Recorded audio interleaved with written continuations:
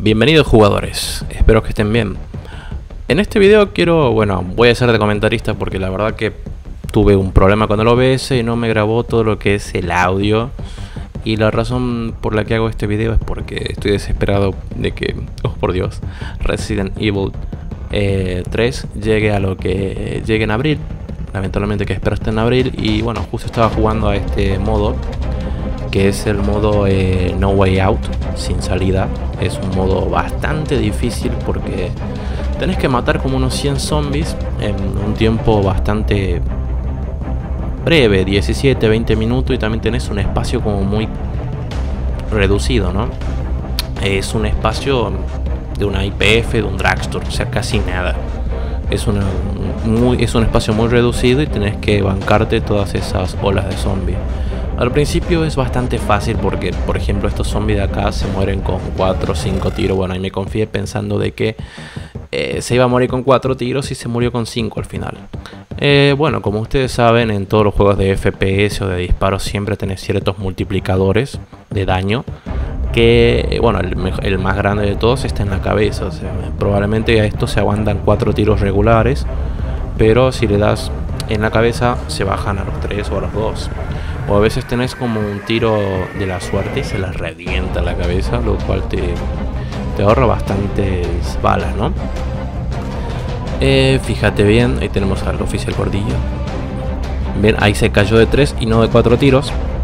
Eh, bueno, después lo que pasa es que ahora aparece el zombie mochilero. El zombie mochilero se caracteriza por tener esta mochila que tiene, digamos, eh, ítems que te ayudan. En este caso vamos a encontrar dos hierbas y una granada segadora. Bueno, ahí salió el negro. El zombie negro. O afroamericano. Bueno, también sale el zombie municipal. Estaba haciendo un control cerca. Bueno, el punto de la mochila es que tenés eh, una granada segadora que te va a permitir zafar de un par de zombies. O si la sabes usar, tirarla y zafar de un grupo entero de zombies. Y bueno, Fíjate que acá ya se empieza a poner un poquito más difícil la cosa. Fíjate que tenemos también este zombie, que es el zombie que carga un, no sé, por algún motivo, no sé en qué estaba laburando. Carga una mochila explosiva con, no sé, con gas de garrafa. Y bueno, tenés este otro zombie que sale de acá, que parece un plomero. O alguien que trabaja, no sé, en la cloaca, va, en alcantarillas. Y acá ya se empieza a poner complicada la cosa porque aparecen estos zombies que son son mis policías o bueno, de antidisturbios, que lamentablemente tienen una armadura que hace que o le tengas que apuntar sí o sí a la cabeza eh, o de alguna forma tengas que sacártelos de encima. Bueno, por ejemplo ahí hice uso de la granada cegadora para zafar de esa situación y fíjate, le dispara en la cabeza, explotó la granada y también le afectó al otro zombie, lo deja como boludo. Pero en realidad no entiendo por qué este, le afecta a los zombies esta granada cegadora porque tiene el ojo blanco. Yo calculaba que estaban ciegos y te seguían por el olor o los ruidos. Y bueno, fíjate cómo se empieza a poner complicadísima la cosa.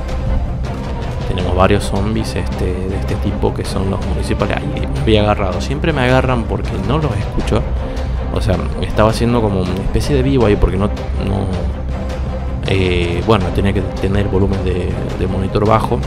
Bueno, de la tele. ¿Profe, juega en tele? Sí, es que me gusta el espacio de la tele.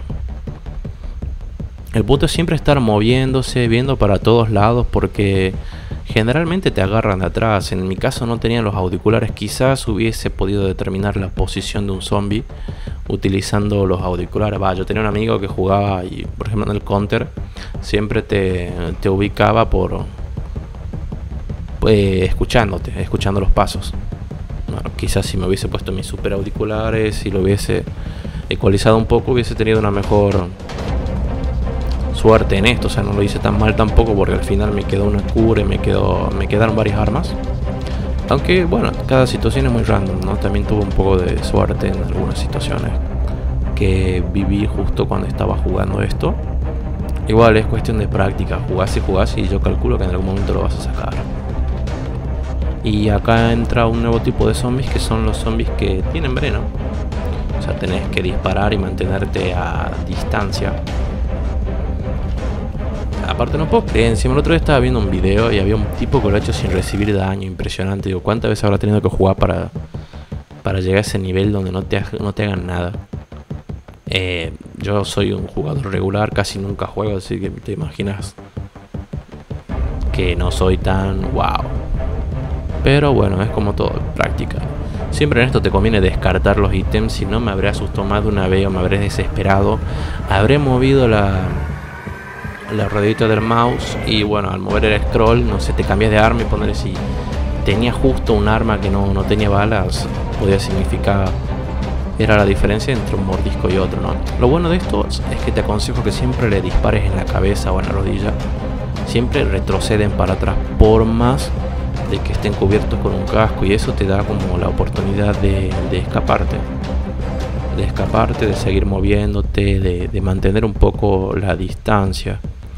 Y está bueno ir eliminándolos rápidamente porque es impresionante. Las veces que llegué a perder acá fue porque se me acumularon muchos zombies al principio y estaba todo lleno de zombies. Entonces no tenías, una, no tenías un lugar, un spot donde vos puedas agarrar y tranquilizarte y empezar a disparar porque estaba todo lleno. ¿Ves? Mira, ya tenés como unos 6 zombies. En el juego regular de en la campaña de Resident Evil no tenés tantos zombies en pantalla, es imposible. Solo en estos modos así que son como bastante complicados. El modo No Way Out y los otros modos llegas a tener una cantidad de zombies impresionante en pantalla. En cambio en Resident Evil original, o sea en la campaña no tenés tantos y cuando aumenta la dificultad este sí son duros de tirar y te pueden con una mordida matar, pero o sea, acá realmente tenés que, tenés que jugarlo varias veces, tenés que perder varias veces para, para poder entender la mecánica del juego, ¿no? O sea, de hecho este sería imposible el modo si tuviese una especie de... Si tuviese una especie de, de elemento randomizer, que se llama, eh, o sea, que básicamente cada partida sea una cosa al azar sería una locura, eso sería un verdadero desafío. No sé si se acuerdan de Left 4 Dead 2 o Left 4 Dead normal, que generalmente todo era al azar. Las hordas de zombies te venían al azar, todo, nunca estaba todo al mismo lugar. Bueno, hay un modo así que están desarrollando para este juego, está genial eso. Ahí tuve suerte que no reaccionó el zombie. Y bueno, después esto siempre está bueno dejarlos eh, dejarlos para cuando se te acumulen los zombies. Hay mucha gente que agarra, lo deja tirar en el suelo momento cosas. Yo trato de aprovecharlo en la medida que se puede, ¿no? Mira, ya tengo tres zombies en pantalla. ves, ahí justo te agarran, no la calculé bien. Y como puteaba. Y menos mal que, menos mal que no lo ves, no grabo todas las puteadas. Mm, zombie feminista. No, mire, encima estas bolas dejas así y vos pensás que están muertas y siguen vivas siempre. Duran más que los zombies masculinos. Eh, fíjate, ahí tengo una banda y no. Menos mal que los pude a, montocochinar en el pasillo, porque si no estaría bastante, bastante complicado. Yo entiendo, eh, la verdad que me admiro a esa gente que, que juega y lo pasa el juego en una hora y media y después tiene que estar esa hora y media comentando todo esto, ¿no? Por eso es como un gran trabajo. Y bueno, después tenés estos zombies que son los Pipehead, cabeza de tubería o no sé cómo, cómo se traduciría bien. Mierda, ven de atrás siempre me... No lo escuché, no lo escuché, estaba comentando, estaba haciendo cosas y no lo escuché. Em, bueno, estos cabezas de pipa se caracterizan porque se recuperan del daño. O sea, tenés que hacer un daño muy bien, muy severo como para que se caigan. O sea, le das duro en la cabeza y con la pistolita chiquita es muy difícil de tirarlo. Siempre tenés que usar el lanzacar, cualquier otra arma más grande. El lanzacargas, el lo que sea. Pero igual la pistolita chiquita ya en un punto no te sirve porque los zombies aumentan su resistencia y ya tenés que gastarte muchas veces las nueve balas de esta pistolita para poder hacerle frente a todos estos zombies. Encima no es bala y tenés que recargar, tenés que estar moviéndote y no, no es negocio porque en un punto se acumulan. Estoy diciendo que le tengo que tirar como no sé, un cargador entero por zombie, ya no, no, no, es, no es una buena idea tanto depender de esta. También está la otra posibilidad que nos ofrece que les puedo llegar a ofrecer, que básicamente es, bueno, conocete de memoria. Yo no noté nada, o sea, no sé nada de memoria en parte, sé muy pocas cosas, me acuerdo porque lo jugué hace mucho y... Bueno, lo que sí me puedo llegar a acordar, por ejemplo, ahí es todo esto de lo que le estoy hablando, pero la ubicación específica de cada enemigo, cuántos van a salir y demás, no, pero si lo estudio seguramente puedo conseguir mejores números en esto. Pero el objetivo era más pasarlo más que conseguir un récord o algo por el estilo. Como les digo, es cuestión de, práctica nomás. Eh, lo bueno del lanzallamas es que te permiten eliminar varios grupos de zombies, pero a veces uno se confía en el lanzallamas y lo que ocurre es que al confiarte vos, eh, el zombie se acerca y por más que esté en llama te muerde y después se muere. Es bastante... Es bastante impresionante. Eh, como a veces uno puede perder en este juego por, por errores así, como medio boludos. Bueno, fíjate que acá dentro de todo estoy, lo, estoy haciendo bastante bien porque tengo mucha munición y también tengo una cura. Si vos combinas la plantita roja, azul y verde, eso te permite a vos obtener un estado de cura especial. O sea, si vos eh, resultas envenenado, usas la planta azul, pero te puedes envenenar al toque. En cambio, si usas la combinación de las tres hierbas, podés conseguir un estado de salud, eh, podés conseguir un estado de salud en el cual sos medio inmune al veneno por lo menos. O en el que, qué yo, hay más probabilidades de que eh, puedas escapar de, un zombie. Cosa que es bastante difícil, ¿no? Si no tenés un cuchillo o no tenés una granada en tu poder. Eh, como les iba diciendo, ven por ejemplo, yo decidí cambiar de arma porque la verdad que era un solo zombie y gastarme lo que tenía en uno no, daba. Y estos, aunque vos los veas tirados así, no conviene dejarlos porque pasado un tiempo se vuelven a levantar. No sé, calculo que al menos que le rompa las dos piernas, pero no creo.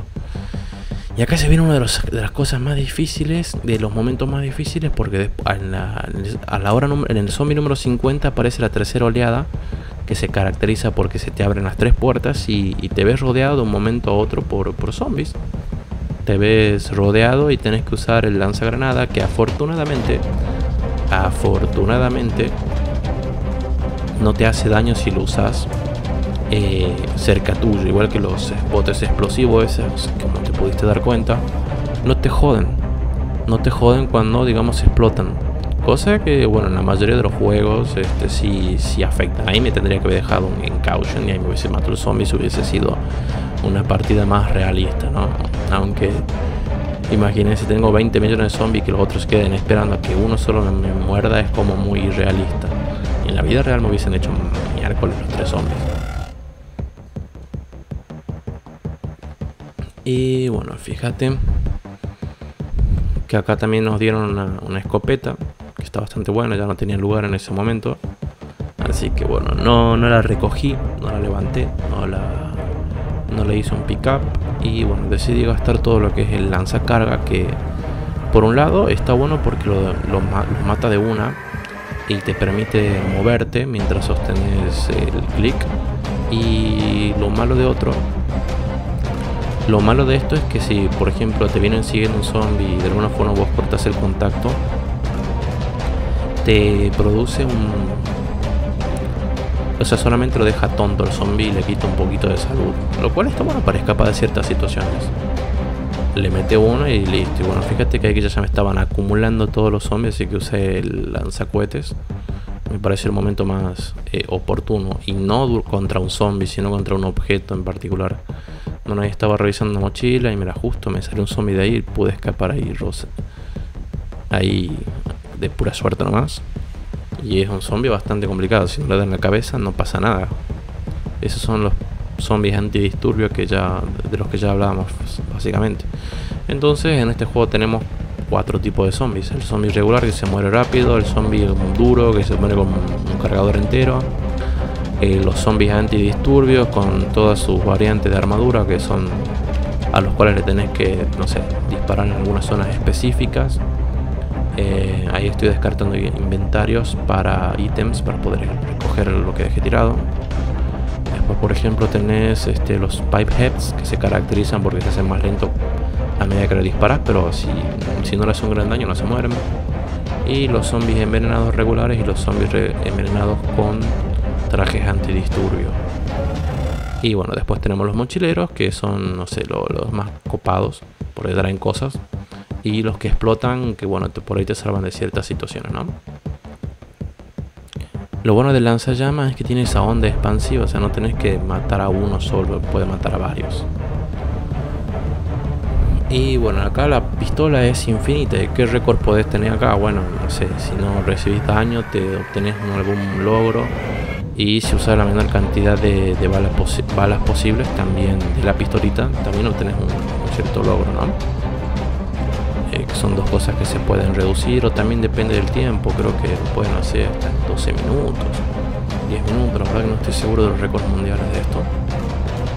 Eh, pero bueno, es entretenido mientras esperamos el Resident, el Resident Evil 3. No la hora de que salga.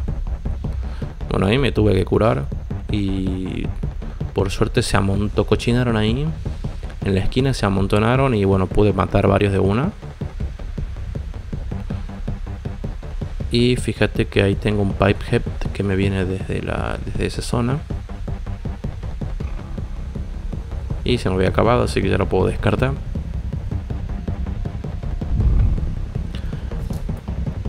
y bueno usé directamente esto para neutralizarlo el lanzacargas y ahí de boludo le corté el enlace porque pensaba que tenía alguien atrás te le juro que no escucho si venía un zombie o no se me hizo y quise darla a girar y no no me salió bien el tiro. Bueno, ahí estoy recogiendo la, escopeta de 8 tiros. Y está bueno darle justo en la cabeza con esta escopeta porque se bajan. Menos estas cagadas que aparentemente es el único tipo de zombie que necesita dos tiros en la cabeza con una escopeta para que se termine de reventar. Ahí tengo otro pipehead, ya estamos cerca del final, le falta poco. Bueno, ahí fue mi error porque le estaba muy lejos y la, la escopeta pierde su efectividad mientras más distancia haya entre tu objetivo y las balas, porque es como que salen un montón de balas, entonces si vos estás más cerca se concentra más la potencia del tiro. Y ya ahí se me acabó mi arma de escopeta, así que vamos a usar la, la este encima acá. Cometí creo que varios errores porque no le pude enchufar el tiro. justo cambié y no... Bueno, justo pude hacer explotar dos y eso me, me saludó la mordida de la parte de atrás. Y conseguí un poquito más de hierbas. Eh, combiné como para tener una cura extra. Eh, extra larga. Y bueno, ya a este punto no me importaba mucho, pero ya estaba casi por ganarlo. Pero bueno, fíjate que dentro de todo lo hice bien porque me quedaron bastante balas del lanzacarga, me quedó me quedaron bastante balas de lo que es la la, la ametralladora. Y bueno, ahí ya creo que ya había terminado y no estaba seguro de haber terminado, así que me quedaba otro lanzacarga más. Y bueno, ahí digo, uy, para, recién se me ocurría ver haya gastado una banda de bala al pedo. Bueno, igual quedaba un poco zombie, ¿eh? me da una mordida. Pero no, no importaba, porque no estaba en danger, no estaba en caution, o sea, en peligro ni nada. Incluso se me quiso tirar el cabello, el pipehead. Y no, no llegó, así que nada, le di en el suelo total, ya, ya no quedaba nada, era casi el penúltimo. Y a este lo, le di el honor de, caer ante mi ametralladora. Y bueno, ahí está. 18 minutos y 22 segundos. Y lo hice bastante bien. Rompí el récord de, balas que tenía antes, usé menos. Y bueno, ahí está el final, como ves, supuestamente sí que hubiese pasado si sobreviviera el sheriff. Daniel. Bueno, espero que te haya gustado y me dejes tu pulgarcito para arriba y todo eso. Hasta la próxima.